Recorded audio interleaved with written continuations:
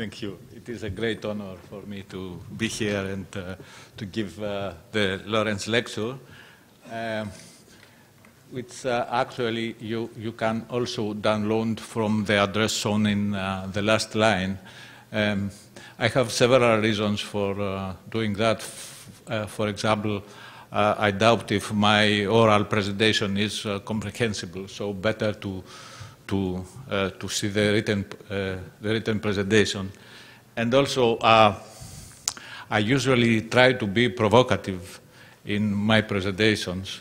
So it, uh, there is always a risk to make errors when you try to be provocative. So uh, it is more convenient to spot the errors uh, in the scripta not uh, because uh, verba volant, as they say.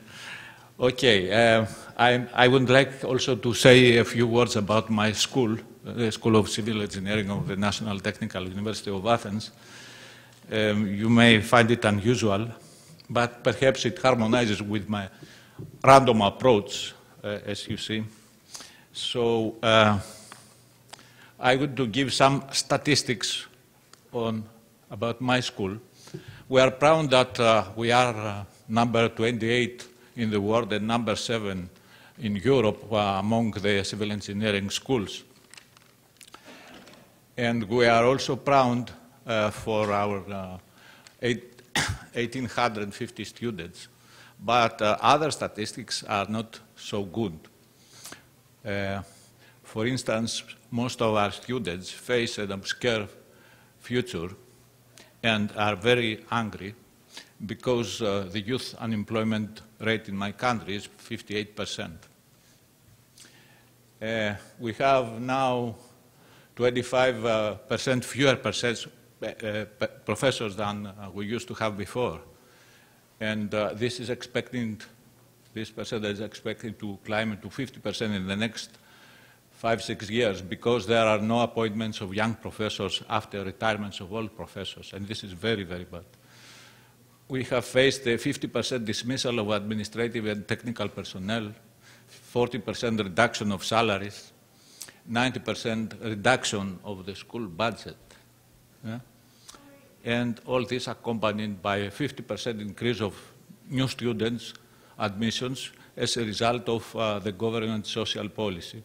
And on, to on, top of that, we have a reform uh, imposed by the government which is opposite to the traditional democratic and participatory organization of the university, and this contributed to chaos in our operation in the last couple of years. Uh, having been the dean of the school for the last three months, I'm deeply concerned about these problems, and certainly they have affected the preparation of my presentation. That's my introduction about my school. Now, uh, I would uh, like to say a few words about the Lorenz lecture. So, uh, I would uh, start saying that I didn't have the honor to get to know uh, Ed Lorenz. I was close to it uh, in 2006. There was a conference in Greece titled 20 years of nonlinear dynamics in geosciences. But unfortunately, he didn't come. Instead, he addressed a letter to participants where he put the question, why 20 years rather than something closer to uh, 200?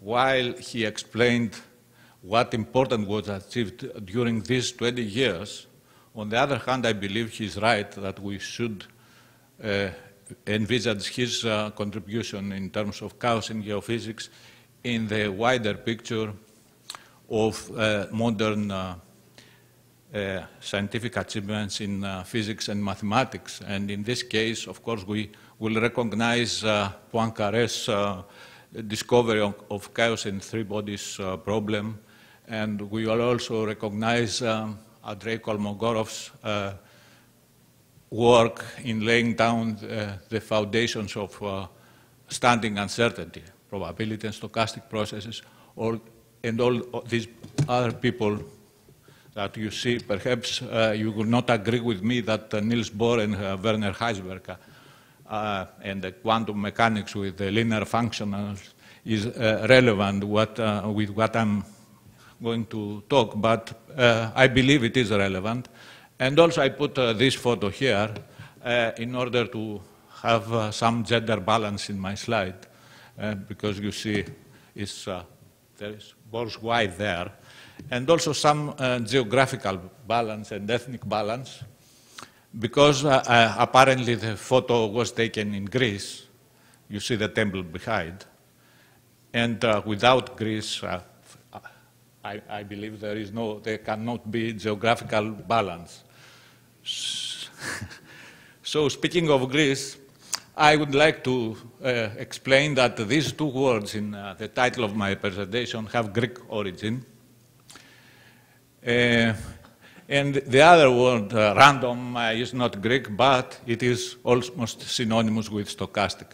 The strange thing is that music, when I would translate the, this title into Greek, uh, the word music is, uh, music is not uh, used in Greek. Actually, we use another word, uh, stochasmos, which is, has the same etymology with stochastic, so the Greek title could be tichei stochasmisti, stochastiki. So uh, uh, my mind behaves as a blender between uh, English and uh, uh, Greek, not French, unfortunately. I don't.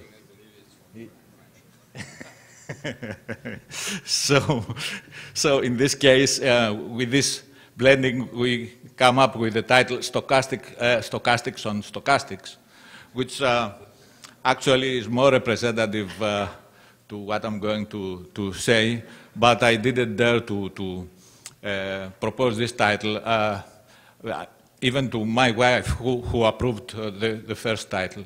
And so I declared the, the, the first title. Anyway, um, what is stochastics? Those lucky who, who believe in sharp exactness uh, do not need any stochastics, actually. They use uh, regular variables which represent numbers, and when uh, time is important, they use functions of time which they call trajectories. But uh, other people like me who believe that uh, this world is, is, and will ever be uncertain are convicted to, to use the notion of randomness. And randomness, random is nothing more and nothing less than unpredictable or uncertain. So a random variable is just an uncertain variable, but uh, also, uh, speaking more uh, rigorously. It is uh, an, an, abstract mathematical entity which has several, uh, several features, among which most important is the fact that it is always associated with the probability intensity or probability mass function. Uh, you, you, may notice that I use, I always separate the notation between regular variables and uh, random variables. The random variables I underline following what is called uh, Dutch notation. Now, when uh, we want to, to uh, study the evolution of a phenomenon in time, we have uh, several, uh, uh, actually th theoretically infinite, infinitely many random variables, and we also are interested about the relations between these random variables. So it's much more difficult than, have, than having a trajectory. So stochastics is the mathematics of random variables and stochastic processes and comprises probability theory, statistics, and stochastic processes. Okay, after this introduction, I can go to the uh, first part of my presentation, which is about the meaning of linearity in distinguishing the deterministic and the stochastic perspectives of, of it. And I would start paying tribute to Vít Klemes, whom I had uh, the luck and honor to uh, meet in 2003 in uh, Ascona. I guess many of you were also present in this conference, Hydrofractals 2003. Uh, but this uh, slide is from his presentation in Perugia. Actually, this was his penultimate presentation. He passed away in 2010. And the title of the presentation is an unorthodox physically based stochastic treatment, treatment of tree rings. Uh, he checks his data, you see what his data are, uh, for nonlinearities, and tries to get rid of them by a proper transformation. And he says, I saw myself sitting in what could be justly regarded as log space, and that led me to use the log transformation so popular in hydrology and beyond. And uh, also nonlinearity has become very popular lately in hydrology and beyond, and um, which means that uh, there is something wrong with linearity, actually. And uh, in my view, what is wrong with uh, linearity is this, that in a linear system, I have the mathematics here, but I will not explain, except the last inequality here, which says if we have a linear system, and G is uh, the, the input and X is the output of the system, then uh, for a mass-preserving transformation, the uh, norm of uh, a perturbation in the output is always smaller than that in the input which means that a linear system reduces the variability and uncertainty when transforming the input to the output. And I have a numerical example here with a second-order differential equation. G is the uh, input, X is the output again. And you see I, am starting with a perturbation in the input, which has an infinite norm. And uh, I conclude with a, a perturbation in the output, which has a very small norm, and uh, soon it, uh, it cancels out. But this happens when we use deterministic uh, description. Uh, if we go to a stochastic description, then uh, our input is no more a constant quantity, but it is a stationary quantity, something different, and it is a stationary stochastic process. In this case, we can easily derive this uh, difference equation, and uh, we can make some several examples assuming that G is a stochastic process, and we see that we have change uh, all the time, and also we have uncertainty all the time, and the two change and uncertainty are closely related. So, uh, in a deterministic model, if we have linear dynamics, uh, we have a tendency for no change. So we need to have nonlinear dynamics in order to have change and uncertainty. And this was uh, expressed by Lorenz at, uh, with this famous statement that two states differing by imperceptible amounts may eventually evolve into two considerably different states. 1963. Uh, but in a stochastic model, even if it has linear or nonlinear dynamics, we have always change and uncertainty, where here stochastic model means a model that has stochastic input or stochastic dynamics, or both stochastic input and stochastic dynamics. Even if the dynamics is linear, and even if the two initial states are exactly the same, again, we'll have uh, the later stage will be always considerably different. Even the very addition, the common addition, differs in a deterministic world and in a stochastic world. I have a simple example, 1 plus 1 equals 2 in a deterministic world, but perhaps it doesn't equal 2 in a stochastic world. Here the curves represent probability density, and you'll see in this example 1 plus 1 equals 3. Or if each of the two addends is most probably 1, then the sum is most probably 3. And this is a precise statement because most probably means to take the mode of the distribution. Conversely, the decomposition of 3 into 1 plus 1 or 1 plus 3 or 2 or whatever is not meaningful in uh, a stochastic meaning. And this shows that uh, linearity has not uh, the same uh, meaning in uh, stochastics. Uh, I will uh, take ste some steps further to show that from nonlinear deterministic dynamics, we can derive actually, eventually linear uh, randomness. And I'm using here a model that I uh, was produced a few years ago in a paper with the title A Random Walk on Water. And it is a model of a caricature hydrological system which has constant input all the time, constant potential output. The output is, the input is the infiltration and the output is uh, the transpiration.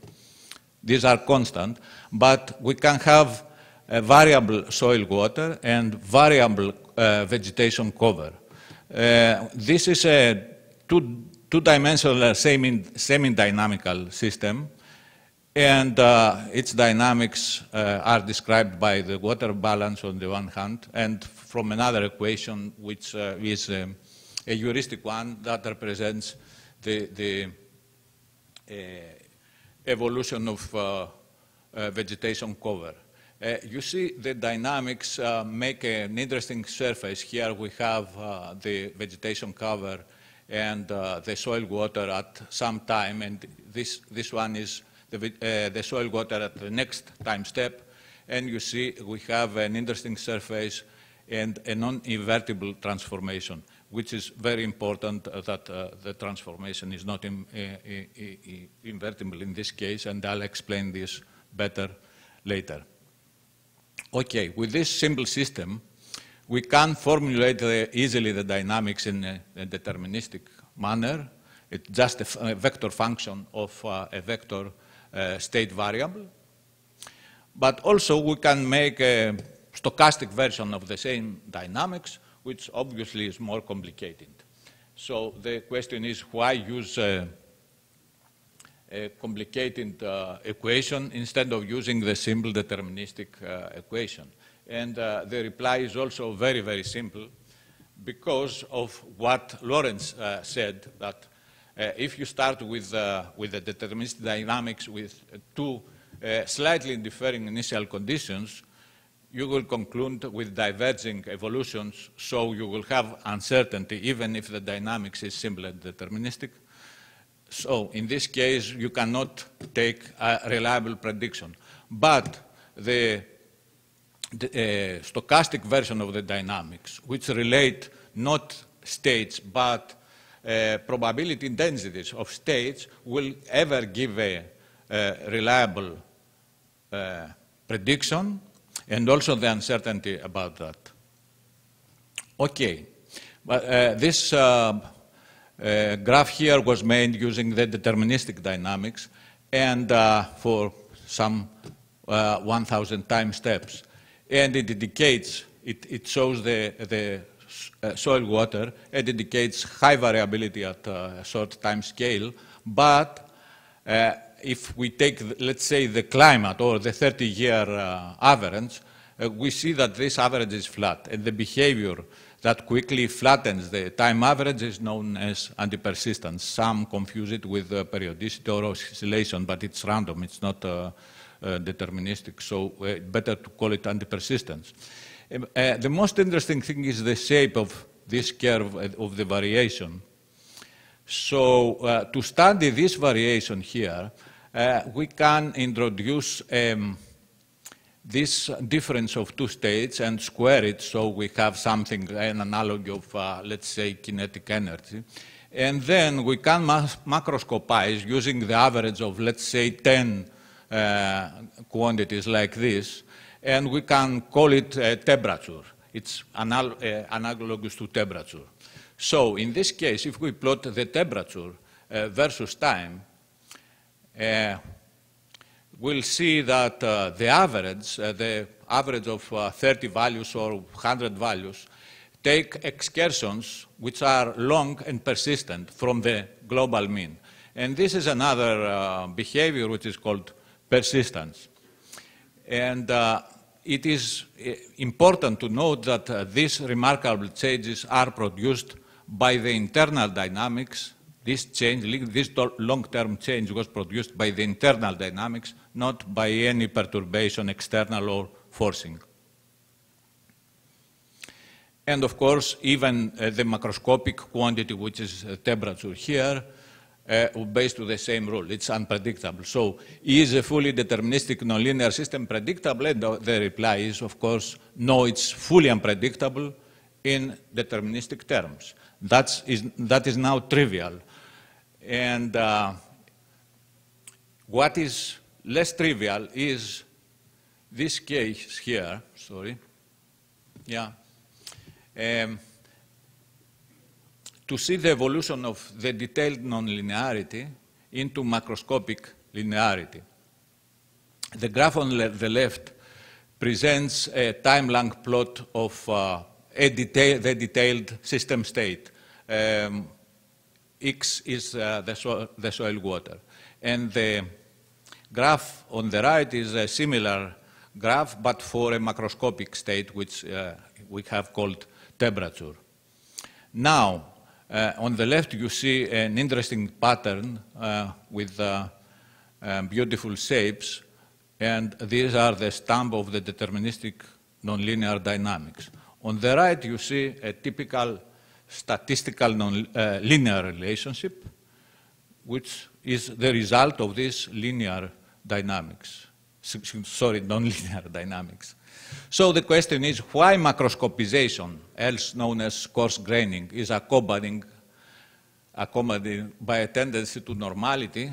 Normality is shown on this graph here. Yeah, this is the normal distribution, and you see the empirical distribution has uh, approached the normal and linearity. Of course, the normality is a consequence of the central uh, limit theorem.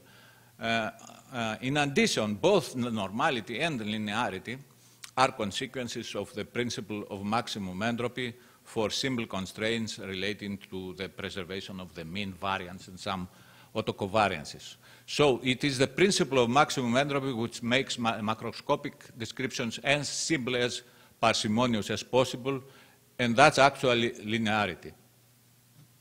And this brings me to the second part of uh, the presentation, which is about entropy, and entropy is nothing more than uncertainty.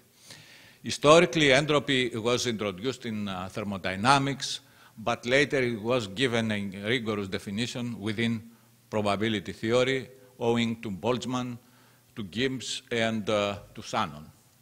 In my view, thermodynamic entropy and probabilistic entropy are more or less the same thing, and I have uh, uh, explained my view in a couple of uh, recent papers. Of course, others have different opinions that the two are different.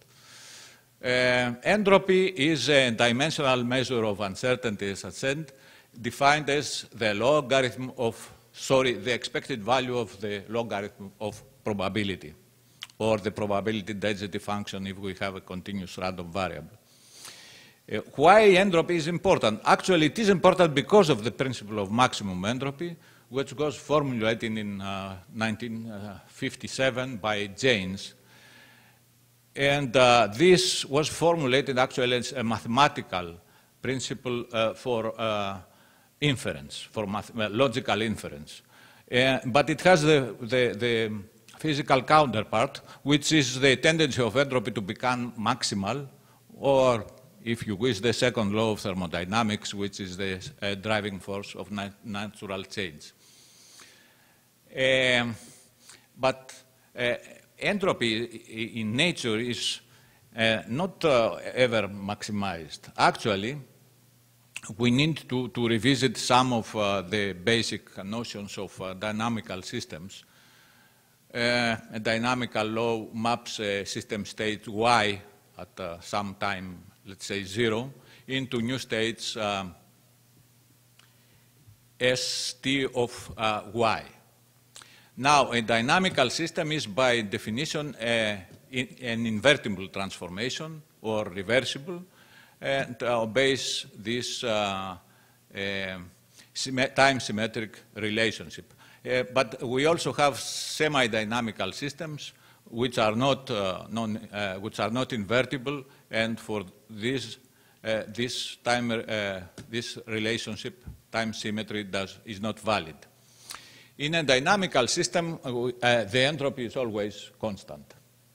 And uh, it is easy to understand that, because if you have a transformation that can go uh, um, in front and behind, back and forward, without adding any information, because it is one to one transformation, of course, if there is no additional information, there is no change of entropy.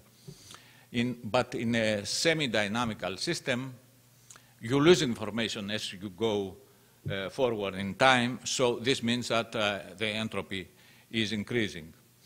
Now, we have an important uh, result, in my view, which uh, uh, was given by Mackey, and who named it uh, God theorem. And this result says that every continuous trajectory in a space X is the trace of a single dynamical system, dynamical system, which means time reversible, operating in a higher dimensional space Y. So this uh, gives all the information we want, because uh, elementary physical laws are time invertible, as we know. Uh, so the entropy is increase is inherent with macroscopization. In a detailed, uh, I mean, high, high dimensional system description, like in the space Y, there is no entropy de decrease. But the same thing could be described macroscopically and in, with a lower dimensional dynamics. And in this case, we have increase of entropy in time. And in this uh, case, we, we can maximize entropy into, in, in order to find how the system behaves. Maximize entropy is, is, is not very difficult uh, when we have a single random variable, but uh, what happens when we have a stochastic process and infinitely many random variables? Uh, in order to do that, let's start with a, in, a stationary instantaneous process in continuous time. Uh, x smaller case, x upper case is the, the uh, cumulative process.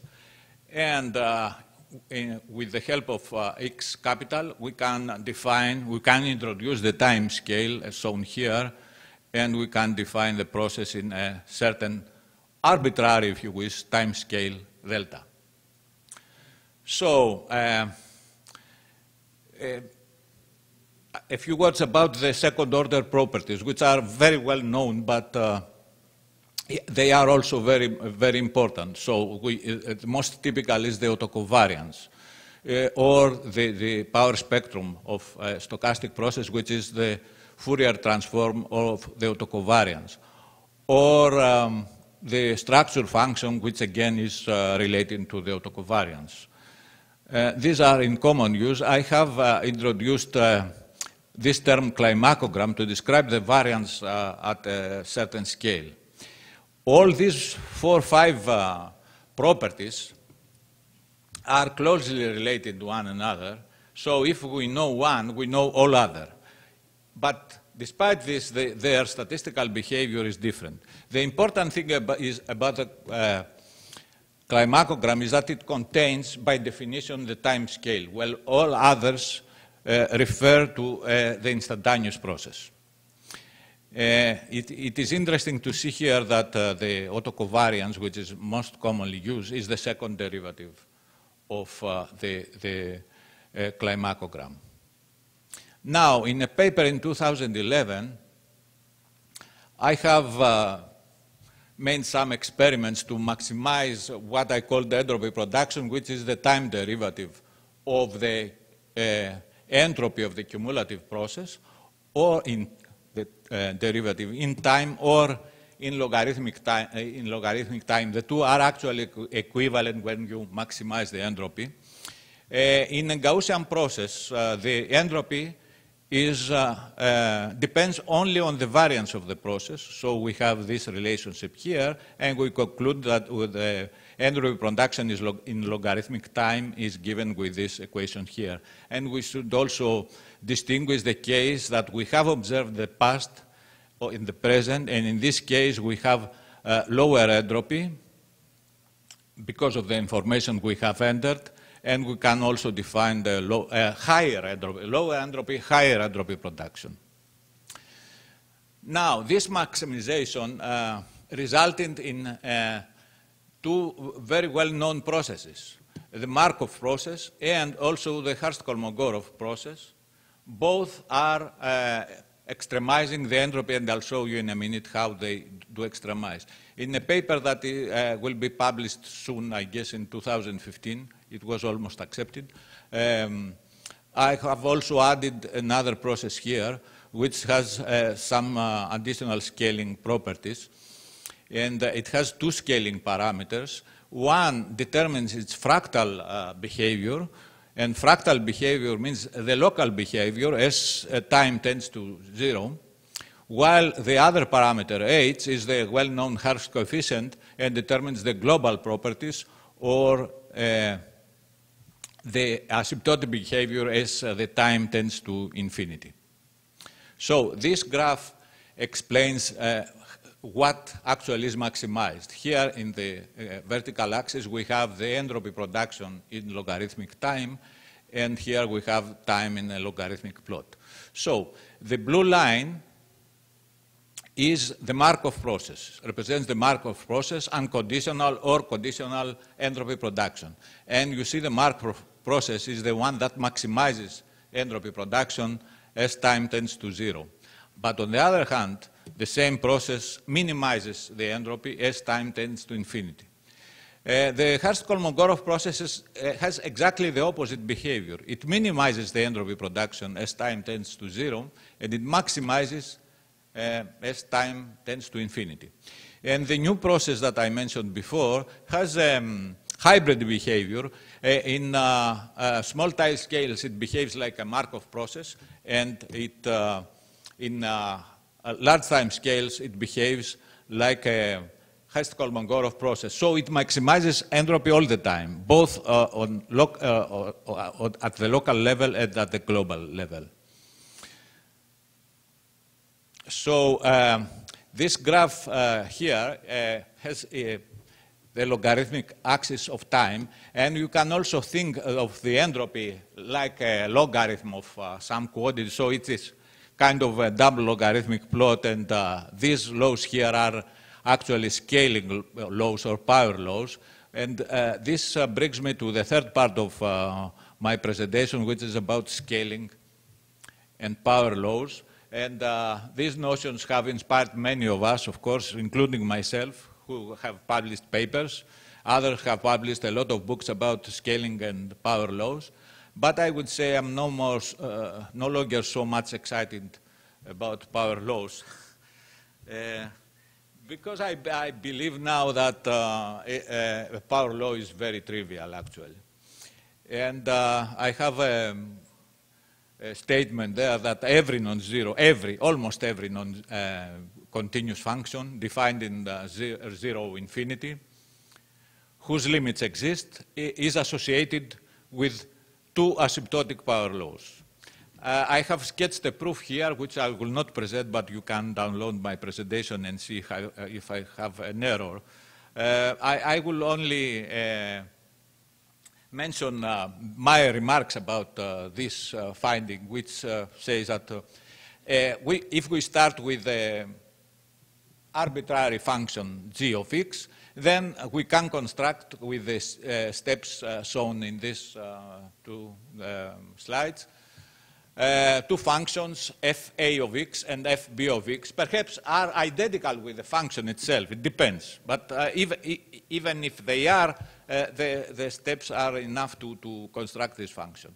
And then we can combine uh, these two functions and find a um, resultant which uh, has both uh, power laws, in both cases, local and global. So, as well as any object has a dimension, any continuous function entails asymptotic power laws, generally not one, but two. So there is no magic in power laws, except that they are logically and mathematically a necessity, and no assumption of uh, criticality, self-organization, fractal mechanisms, etc., is necessary to justify their emergence.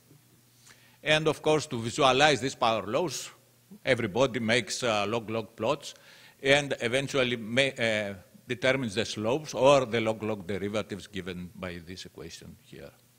So to apply this uh, simple thing in uh, stochastic processes, um, to, to find the uh, global behavior at, uh, the asymptotic behavior at the global scale, it suffices to use the Climacogram as it is without any additional effort. To see the, the um, uh, local behavior, uh, it suffices also to take the difference from the instantaneous, uh, um, to, from the variance of the instantaneous process. this difference is enough to, to uh, detect the, the behavior, the local asymptotic behavior. And if you multiply the two, you will get something which uh, I have called climacogram-based spectrum, and it gives both asymptotic behaviors for local and global scales. So these uh, behaviors can also be uh, found by other more standard uh, tools like uh, the autocovariance, the structure function, the standard path function, but I prefer the climacogram for some reasons that I, I will explain. Um, in, we sometimes forget that in stochastic processes we have a little bit more than, okay, thank you. Uh, yeah, it's, it's fine. In stochastic processes, we, sometimes we forget that we have bias, estimation bias and estimation uncertainty, but this is very important. But in particular, when we have Hurst behavior, uh, long-term persistence, this bias and uh, uncertainty are very, very high. Uh, in the climacogram, the important thing is that we can analytically calculate the bias and uncertainty, and uh, perhaps no a priori, according to the model we, we assume. Now, the autocovariance function, as I showed before, is the second derivative of the climacogram. And estimation of the second derivative from data is too uncertain and makes a very rough graph. Also, um, the estimation of autocovariance from uh, uh, data is uh, too much biased uh, when uh, uh, long-term persistent is present. Similar, likewise, the, the, power spectrum, which is the Fourier transform of, the autocovariance, has an even rougher shape, and unless we make a um, smoothing, which introduces more problems, we cannot make any estimation.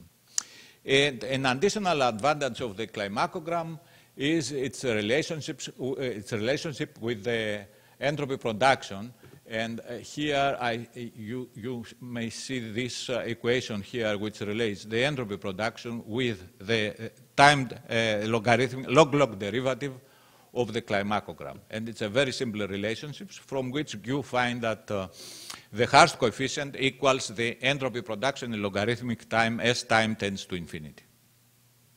Okay, here is um, the three entropy production extremizing processes that I mentioned before, and you see that uh, uh, the climacogram-based metrics have exactly the same uh, asymptotic behavior with the standard metrics. And also you see the important thing about this hybrid process that it has two scaling exponents which de uh, determine independently one from the other the behavior for local and global uh, time scales. Uh, when I published uh, these results, I used uh, annual time series, long annual time series, and uh, it, uh, it, it, I found that uh, the, the, these time series were consistent with this theory. But it's important to also to see what happens in very short time series. So turbulence offers this possibility to, to verify or to, to falsify a theory both for long and uh, short time series. And here uh, I have uh, plotted some measurements of turbulent velocity at time scales from millisecond to second. And this data are uh, fortunately are, are, available online uh, uh, by Kang. Okay, so if we uh, use uh, such data and make uh, climacograms and other climacogram-based properties, we'll see that, for instance, that a Markov process is good for uh, small time scales or uh, high frequencies, but not uh, the opposite. There are big differences. On the other hand, if we plot the Hurst-Kolmogorov process, we'll see just the opposite, that it is good for large time scales, but not for small ones. So the hybrid, sorry, the hybrid process is good for the entire range of time scales. Of course, you, you, you can refine the model even better, but even with these two parameters, you find very good uh, fitting.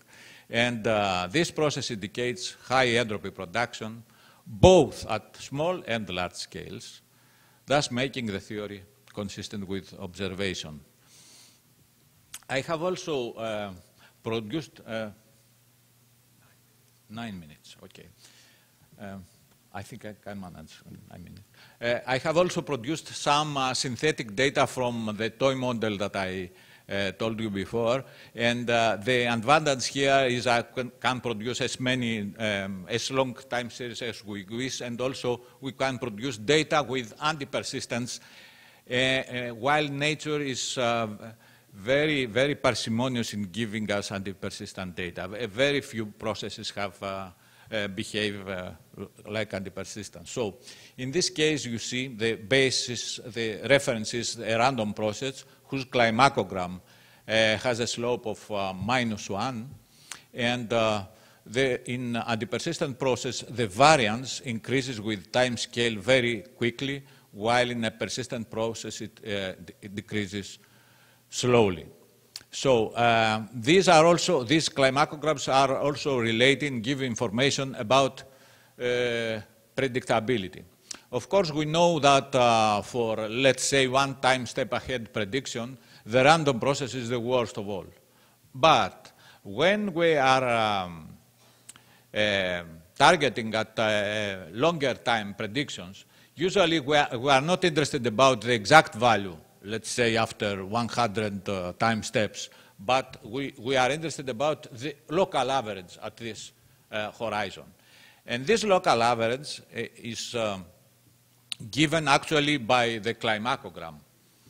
And uh, in this case, you see that the anti-persistence process, which has uh, lower, variant, lower variance, has also better predictability, and the opposite happens with the persistent process. So, in this case, uh, we can say that uh, persistence increases the long-term variance and thus enhances unpredictability. Uh, while, uh, and this is contrary to the common perception because we uh, commonly we think that uh, dependence, positive dependence increases predictability, but it's just the opposite. Positive dependence uh, deteriorates predictability over long time scales, but it is anti-persistence that improves it. Okay, um, and uh, uh, just a last comment about this. Um, usually we interpret persistence as long memory, and I would like to say here that uh, in this toy model it is, uh, because it is very simple, it, it was constructed in purpose, there is no long-term memory mechanism at all, but there is change, and this change is shown in this graph. So it is the change that generates uh, uh, persistent and not, not, the memory. Actually, this was uh, first uh, um, understood very well and uh, supported by Vit Klemeš in 1974. Uh, okay, so persistence is inclination to change and anti-persistence is resistance to long-term change. And um, in nature, I believe uh, the change and persistence are the rule, and that the persistence is an exception. And I have tried to illustrate this uh, uh, conviction using uh, a lot of uh, proxy data and uh, making with my colleague uh, Yannis Markonis a combination of this data and making a climacogram, a, a combined climacogram of both of all these uh, series, and you see that uh, uh, there is a Hurst behavior with a high Hurst coefficient, but there is also a period, a, some uh, time scale uh, between 10 and uh, 100,000 years where there is an anti-persistent, and this is relating to the Milankovitch cycles.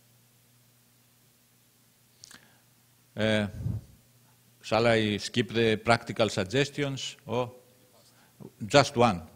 Okay. Uh, um, so the, this one is that uh, the data analysis should be consistent uh, with uh, theory. And uh, to illustrate that, I have used an example with uh, 1,024 data points generated by the hybrid Hurst-Kolmogorov processes with these parameters here. And you see, I, I told you before that uh, the power spectrum is uh, very rough. And this is the power spectrum, the blue line, and the, this is what the theory gives. This is the empirical. In comparison with the climacogram-based spectrum, which is much less rough, actually, it is almost identical with the theoretical one. Now, of course, usually we, uh, we are smoothing the power spectrum. And uh, this is uh, the smooth power spectrum uh, produced from, by averaging uh, eight segments. And uh, now the situation that we see in the right graph after the smoothing is much worse, I believe, than this. Why? Here we have calculated the slope mi uh, minus 1.5, while the actual slope is minus 2 for uh, the uh, for uh, high frequencies or low uh, time scales and minus 0.6. So the errors in the interpretation using this graph are many. For instance, there is model misspecification. We found a unique power law instead of a law with a varying slope, which is the correct one. Yeah? And uh, we have a parameter misrepresentation because the, this number minus 1.5 does not represent anything. And worst of all, we have a total theoretical uh, failure because the slope on the left of a power spectrum can never be steeper than minus 1. Why? In making inference from data, uh, we always make an assumption of ergodicity, or even if we don't make it, we imply it. Otherwise, we cannot make inference from data. A stochastic process with slope steeper than minus 1 on the left tail has slope, should have slope uh, minus 1. Sorry, if, if it is bigger than this, then it is non-ergodic process. Thus, the slope uh, 1.5 estimated from data is absurd. Uh, there is a proof about that. So we should be aware of theory. We should use algorithms consistent with theory. And we should use proper stochastic tools, and in this case, the red tool, the climacogram-based spectrum, gives the correct uh, answer.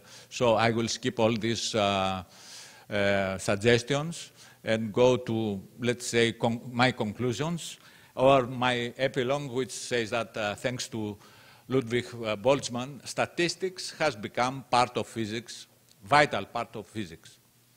Thanks to Niels Bohr and Werner Heisenberg and other giants of uh, quantum mechanics, we know that uncertainty is an interesting property of the world. Thanks to Henri Poincaré, we know that uncertainty dominates also in the macroscopic world. Thanks to Ed Lorenz, we know that this is particularly the case in geophysics. And thanks to Kurt Gödel, we know that solving all problems by deduction is infeasible, and thus we have to theorize, theorize inductive reasoning, and thanks to Kolmogorov, we have a well-founded uh, mathematical theory of stochastics, and stochastics is uh, data analysis, inductive inference, prediction with quantified uncertainty, and above all, logical worldview. And I would like to conclude by thanking my colleagues and friends who are inspirers and conspirers. Uh, they inspire me to keep standing stochastics and conspire to nominate me for the lecture. Alberto Montanari, Alin Carsteanu, Andreas Efstratiadis, Günter Blöschl, Harry Lins, and Tim Cohn. I thank also the AGU Honors Committee for selecting me, and I thank all of you, each one separately, for attending this lecture. Thank you.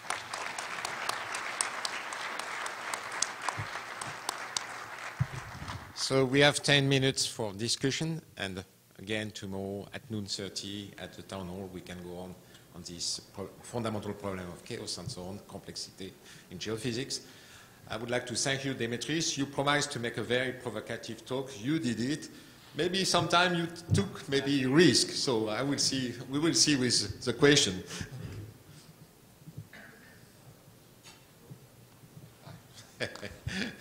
I was sure that John will protest. you need a microphone? Yeah. Yeah. Yeah. Yeah. Thank you, Dimitri. I, I guess I don't know where to start. I'm really actually quite shocked at some of the things you were saying. Um, The last thing, for instance, you know, that you can't have a spectrum steeper than minus one throws out essentially all of turbulence theory, for example, pretty much, you know, k to the minus five thirds. Um, and No, no, uh, sorry, so- uh, can I? Well, no, let me finish. Uh, The climacogram stuff, I mean, if you put it in a proper wavelet context, you would see the limitations of the climacogram. It's been pointed out in the literature. Your graph with the wide range of scales is got regions where you just have spurious uh, results. Um, Your comments about the triviality of scaling, I mean, you have, you put everything in, in the framework of functional space, so you can't even discuss multifractals, for instance, which is where the interesting scaling is. The whole point about the scaling is, is really scale invariance as a physical principle, um, that you have structures within structures within structures. It's not a triviality. Um, you know, I'm sorry, I, I, I really am, am, am shocked at this stuff. Do you want to comment it quickly? Yeah, yeah. Uh, uh, uh, actually, uh, I, I, uh, I wanted to be provocative, but uh, I, I, didn't uh, want to, to make you sound sorry, sorry about that. Uh, if I, but uh, uh, actually, perhaps I, wasn't clear enough. You see, here the slope is 0.2. In this case, in the graph that I presented, is point. Is sorry, minus two. Minus two. So minus two is feasible. Uh, also, if you see uh, my graph about turbulence here, okay, is uh, the, in the spectrum is uh, again minus 2. And if you consider also the bias, which is important to consider the bias, it becomes uh, minus uh, uh, 5 thirds, which is exactly Kolmogorov's law. So uh, th- this doesn't contradict uh, the Kolmogorov's law. But what I say is the left tail of the power spectrum should be smaller, should have a slope uh, uh, not steeper than minus one. This is just for the asymptotic left tail. Okay, no problem to have whatever slope uh, you wish in the body of uh, the power spectrum. Um, now, okay. Yeah. Yeah, I, I- I would like there will be different uh, questions, not only a dialogue. So, yeah, there is one, yeah. Uh, you have presented a very simple mechanism to generate power laws, almost a trivial, a trivial, trivial one. Uh, so, but which is the applicability of this mechanism to the real world, and in, this, in which case can substitute uh, other mechanisms because there are many other mechanisms that apply to different situations. So, to which situations apply your mechanism? Thank you. Okay. As we are short of time, maybe we can collect several questions